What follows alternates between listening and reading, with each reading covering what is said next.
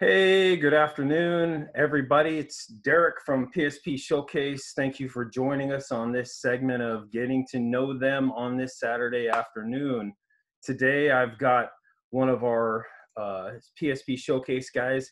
His name is Cody Marx. I'm bringing Cody in here now. Let's get him on and joining with us.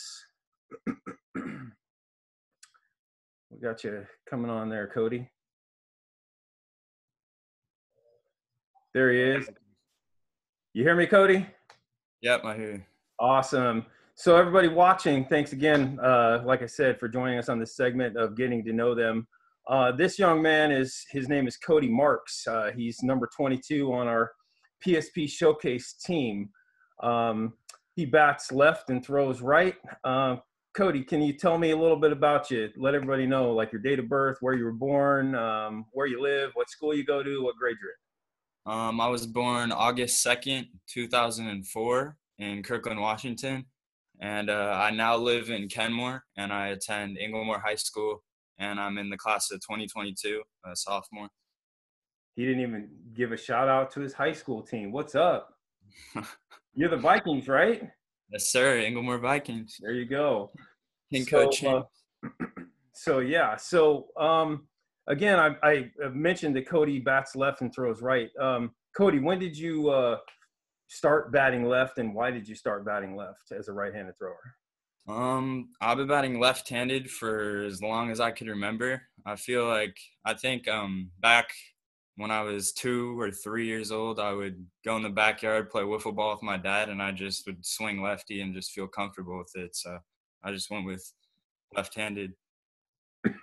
So it was just natural. So just came yep. natural. So um, in every segment, Al was diming these guys out with their nicknames. Uh, he's another one of these guys that's got like a, a bazillion of them. Uh, we call him uh, the Marksman. We call him Kodalak Mountain. Kodalak um, kind of got the nickname for uh, you know making making opposing pitchers climb the mountain uh, anytime he steps in the box. He uh, he can devastate a baseball. And speaking of devastating a baseball, last year at 14, uh, playing in a 15U tournament, Cody probably hit the longest ball of 14U guys uh, to dead center off of uh, one of the top pitching prospects in the in the um, underclassmen ages of high school. Um, and so, Cody, that ball traveled uh, well over 400 feet. So, when you hit it, did you did you know you hit a home run, or did it just feel like you hit a you got a base hit? I mean, it was a three-two count. I was kind of fighting with uh, two strikes, and then he he threw me a pitch. I I knew I could hit the fastball high in the zone, and I, as soon as I swung, I I just knew right off the bat that it was going over the fence. Yeah, it was gone. It was. Uh, I had to tell him to slow down because he was like like a deer. You haven't seen Cody play, and I failed to mention this this kid's positions He's uh, an outfielder and a pitcher. Um, he's he's a starting pitcher, relief pitcher, however you want to use him. Uh, he he can handle both uh, situations, and then uh, he's an outfielder, primarily a center fielder for our uh, showcase team, but uh, runs like a deer. Like you know, he looks athletic, but when you see him run, you don't realize how fast he's moving until you see him like run down a ball that you think is going to get into a gap. And I watched him do that in fall ball. I was like, oh, that ball's going, that ball's going. And we were we were playing at a, a, a college field, and he he got to it. I was like, it was in the right center gap, and I was like, I don't know how the heck he got to that, but he got to it, and he does he did that a lot for us. He does that a lot for us. So, um, so uh, Cody had an assignment like the rest of his teammates to write about, about a player. Um, that um, he looks up to that models his game after or one of his favorite players and he chose ken griffey jr kind of fitting because he's cody's a center fielder as well. So uh, tell us why you chose griffey. Um i just really look up to griffey kind of want to model my game after him. Just the way he played in the outfield the effort he showed in the outfield the spectacular catches all that and just to add on the beautiful swing and the the crazy home runs just the perfect player, in my opinion. Greatest player in the history of the game, I believe. Absolutely. And, you know, if you haven't a chance to, to, if you had the chance to watch Griffey or even meet Griffey, Griffey is an outstanding dude. Um, but uh, you meet this young man, you're gonna you're gonna see very similar traits. Just very humble, has fun too in the game. You know, just uh, always laughing. You wouldn't know if he went 0 for three or two for three or three for three because he's just he's always just kind of lighthearted and easygoing. So um, I love that you picked Griffey because that's a that's a great uh, player to model your game after. Um, you mentioned you go to Inglemoor, so tell us a little bit about your favorite subject there at Inglemoor.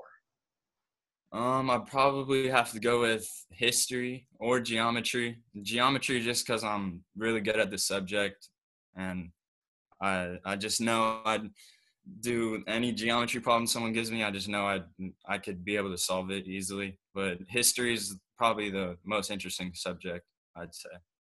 Yeah, well, it's kind of funny you say geometry because you know anything to do with like math and science. Um, you know, uh, it, it, ascertates and translates a little bit to uh, baseball. So, um, you know, Cody's always finding himself being able to read and being in center field.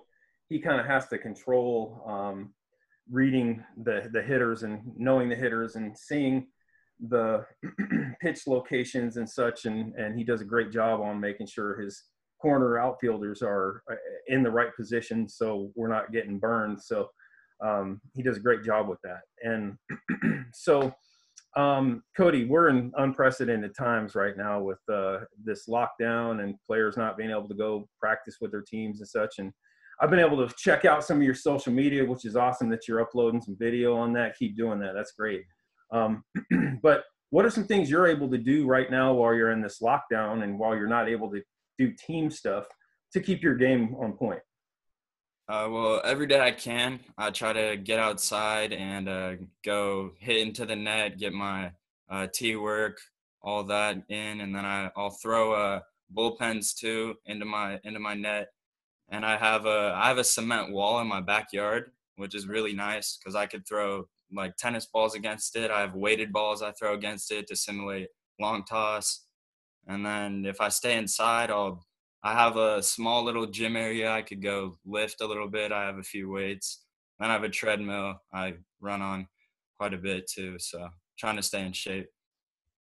Yeah, I mean, you look at this guy. He's he's, he's like a he's lean muscle. He's he runs like a deer. Like I said, I, have I've never seen a guy run so effortlessly. You almost, as a coach, want to look and say, "Hey, Marx, pick it up," but he's flying past everybody. So you know he he's uh, he's always given his a effort and like i said that's a tribute to the the work he puts in not finding excuses um, but that also pro- probably ties into some goals you have for yourself tell can you tell the people that watch this maybe what some of your personal goals or or your your baseball goals give us some goals that you set for yourself well academically um, i try to tell myself every semester to make sure i just uh, a's and b's and stay focused the whole year, A's and B's. That's what I'm trying to get, 3.5 or above. And uh, for the sports side, I, my main goal is to play Division One college baseball. But if it, I just want to play college baseball in general. If it comes down to that. Yeah, definitely. Well, and and you know, if you guys haven't watched Cody play, he's well on track. And uh, the, some of the humble things uh, about him. You know, he doesn't he doesn't he's not flashy, showing off and showboating. He gets it done. You know, like I said, you have to tell him to slow down after he hits a home run because he's trying to to to to beat the the fan getting out to the baseball before it gets home.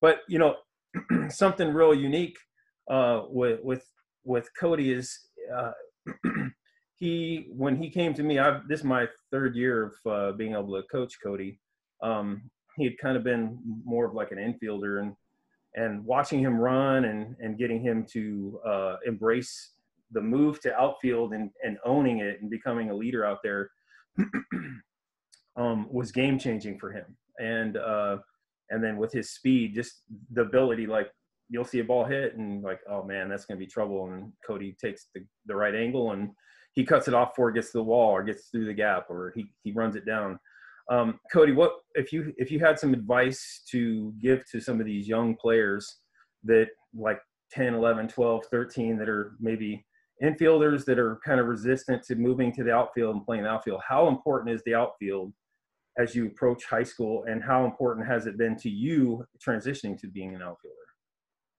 I'd say to those kids be open to anything because when I was 11, 12, I used to play strictly second base, shortstop, and pitcher. And I used to hate the outfield. I was like, I never want to play outfield. You just stand there and watch everyone else do whatever. Yeah. And then I got to 13U where uh, the kids can actually hit far to the wall like all the time. And I'd started uh, realizing I had speed and I was able to track balls and just now I feel like outfield's even more fun than playing second base at times. Absolutely. And it's it's it's critical. I mean, you see guys that are, you know, putting balls deep out there and they're on their way to second base thinking they have a, a double, maybe a triple, and Cody's ran the ball down and, and robbed them of uh, their glory. But you know, some uh, some interesting things for uh, you young players, like Cody just alluded to, listening to your coaches, and um, you never know who's watching.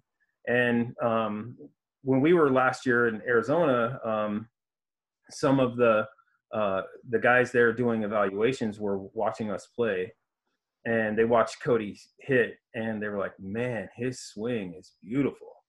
They were raving about your swing, and they were raving about how how Cody just goes up there. He doesn't. He doesn't. He's not waiting for his pitch. He's not waiting for one perfect pitch.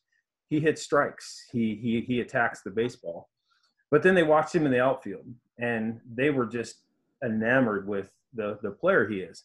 Then they watched his demeanor as he came into the dugout, and he, he's not real loud. He just spoke up, "Hey, let's go, guys, let's go," and just went back to business. You know, and he just stayed businesslike. And so, um, college coaches, if you watch this, uh, this is a guy you want to put on your radar. I mean, Cody, how tall? How much? How tall are you, and how much you weigh right now? I'm about six foot and 160 pounds. Yeah, six foot, 160 pounds and packs power from the left side and uh, has a cannon for an arm, runs balls down, can run like a deer, um, and he's still not done growing. Um, you know, he's uh, a sophomore in high school um, this year, uh, class of 2022, correct? Yep, 2022. So, so coaches, if you if you are looking for an outfielder, a prospect, a guy that uh, will put the work in and, and uh, work I'm going to get to also. Cody also does some work uh, with his dad. Can you share share tell a little bit about like what you do uh, when you help with your dad? Um, well, I've been helping my dad for quite a few years now. Uh, usually, I just help him out in the summertime when he needs someone to help him. He doesn't have a coworker or anything, so he yeah. uh, takes me out, and I make a little bit of money too. But now that this we don't have much to do during this time, I've been out working with him like almost every week, just helping him out. What what what exactly are you doing? Like what kind of work? Uh, well, we've done a few like um, uh, sunroom jobs, like repairing glass, and we're doing we're rebuilding a fence right now. We're doing a boathouse too at the moment, so we have two jobs lined up right now. So a lot of everything. Yeah, so again, college coaches, you want a blue collar guy that's going to go put he puts hard work in, classroom smart guy, humble, um, with a lot of upside. You need to go check Cody Marx out. Um, maybe at Inglemoor. If not, look us up on PSP Showcase. Follow him. Look at his videos. Um, and and better jump on him because this kid's going places. So um, thanks, Cody, for joining us today and sharing your story with everyone. Um, have a great weekend, okay? Yeah, thank you, Coach. You too. All right.